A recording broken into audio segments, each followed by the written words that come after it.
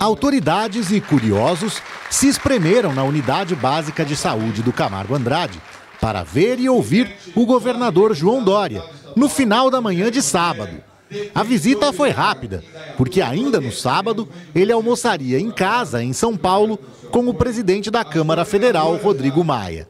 Mas deu tempo para falar sobre alguns assuntos de interesse do Indaiatubano, como as novas UBSs.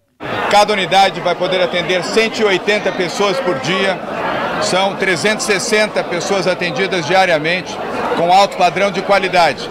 Uma iniciativa do governo do Estado de São Paulo e da Prefeitura de Indaiatuba, num amplo programa de saúde, que ainda envolve um novo hospital e ampliação de programas de atendimento básico. Ainda sobre saúde, o governador prometeu, para ainda essa semana, uma remessa aqui para Indaiatuba de doses do soro contra a picada de escorpiões.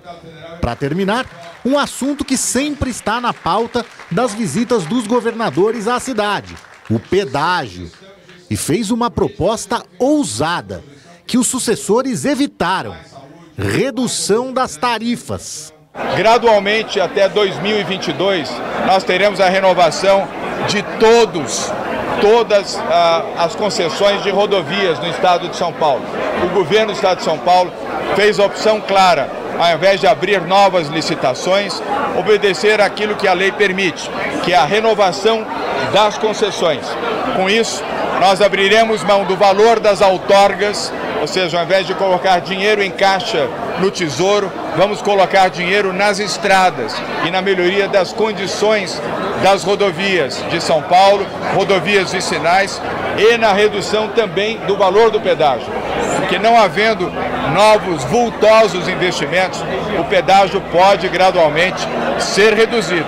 E será, esse é compromisso do governo de São Paulo. Além disso, Dória prometeu estímulos para que os caminhões rodem de madrugada nas rodovias do estado. O pedágio flexível, que vai oferecer a partir das 10 da noite a opção pela concessionária de reduzir até 50% o valor do pedágio, das 10 da manhã até as 6 horas da manhã. Com isso, caminhões e outros sistemas de transporte de carga poderão utilizar estes horários marginais com tarifas reduzidas, com mais segurança, com mais velocidade média, desafogando as estradas de São Paulo, reduzindo acidentes e diminuindo a emissão de gás carbônico nos horários de pico das rodovias paulistas. Vamos implantar também tudo isso a partir de agora, 2019 até 2022.